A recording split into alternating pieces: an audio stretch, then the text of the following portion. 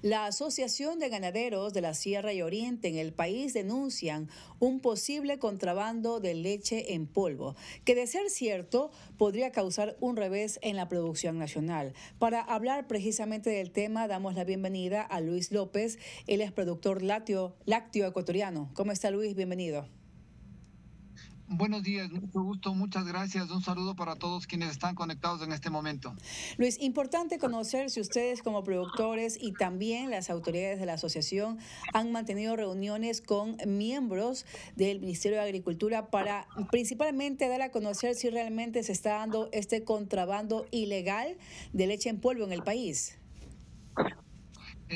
Eh, definitivamente cuando el país, por la dolarización, obviamente somos una tentación porque en nuestro país para producir leche somos nuestros costos de producción son muy altos. Por lo tanto, también la, la venta de la leche también tiene un precio bastante alto.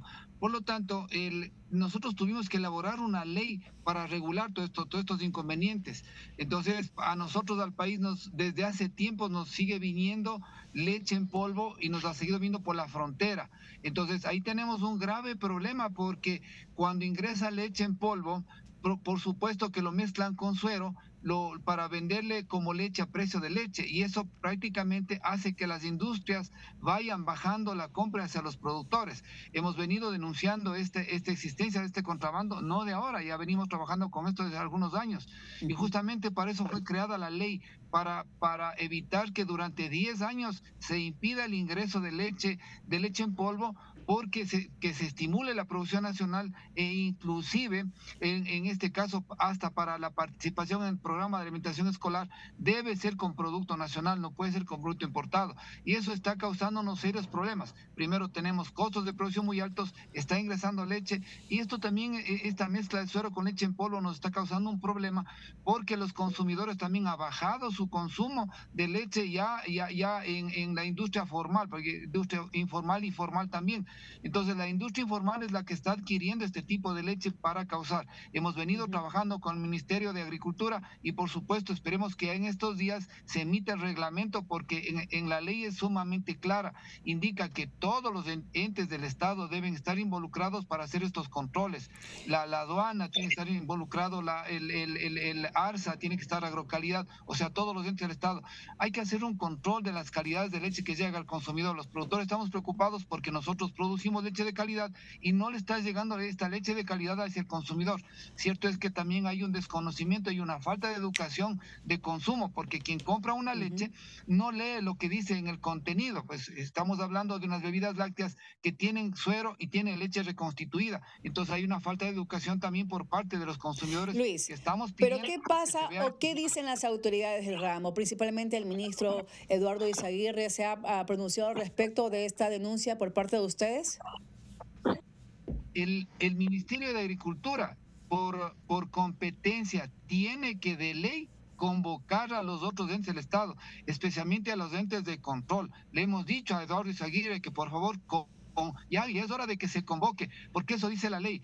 El ente, el ente, el, ente responsable de la producción agropecuaria en el país es el Ministerio de Agricultura y recae la responsabilidad en este caso para los controles, o sea, invitar a los, a los, otros entes del Estado que se hagan los, los, los controles respectivos. Hemos, hemos tenido reuniones con, con el ministro de Agricultura, pero por supuesto necesitamos que la ley y el reglamento y empiece a funcionar, se haga la socialización respectiva y empezar a hacer los controles, los controles que tiene que venir por parte de las intendencias, las comisarías, las, las tenencias políticas en los, en los en, en, las parroquias, porque está pasando algo, algo, algo muy interesante.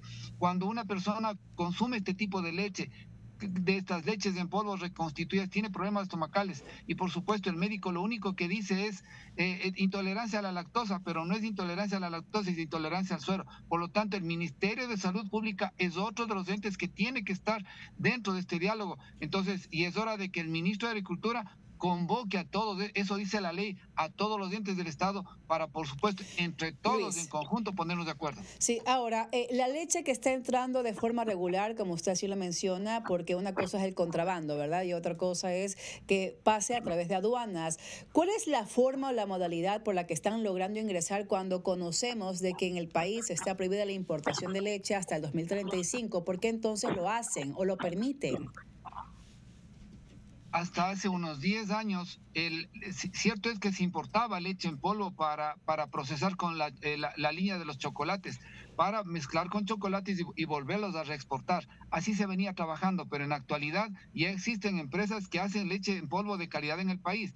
Entonces, bajo esta premisa, o sea, bajo esta cortina, se permite y se ingresa leche, leche en polvo. Entonces, ¿cómo encontramos este problema? Porque definitivamente hay industrias que por darle un ejemplo, compran mil litros y venden dos mil. ¿De dónde salen esos mil litros adicionales?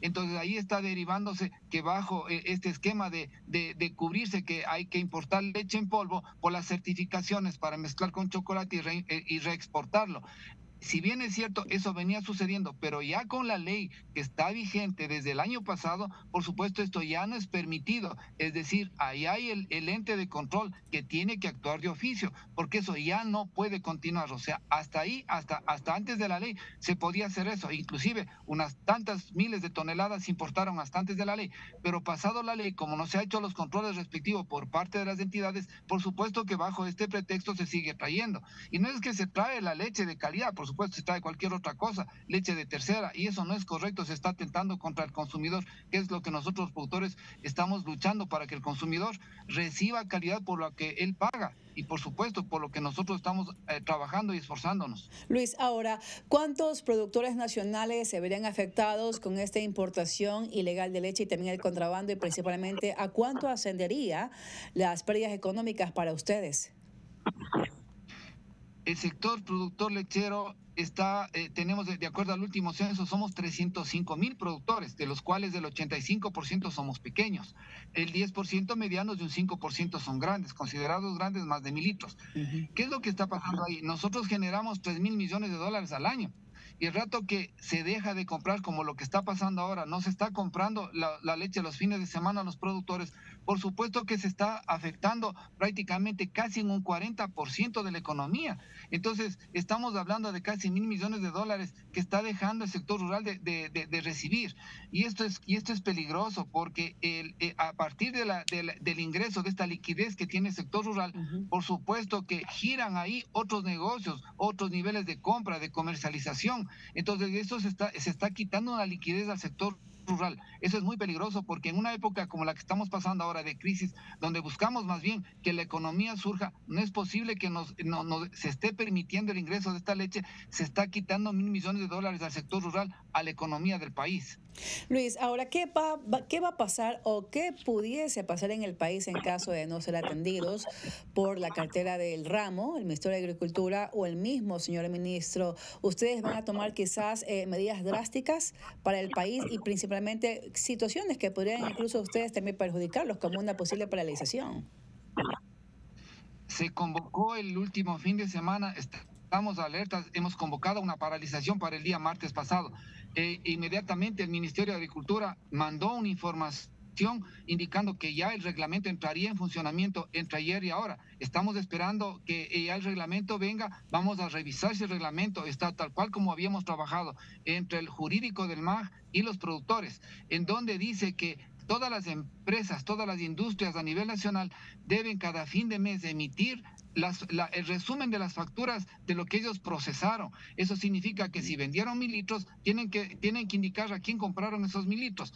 Y, las personas que la a la industria tienen que verificar. Entonces, si es que eso no se cumple, por supuesto, eh, lo, de la paralización, no es, que, no es que hemos dicho ya no hay paralización, lo que estamos es en stand-by hasta ver si en estos días prácticamente se, sale, el, sale el reglamento y nosotros inmediatamente a través de las autoridades de actuar. De lo contrario, por supuesto que está pendiente la paralización.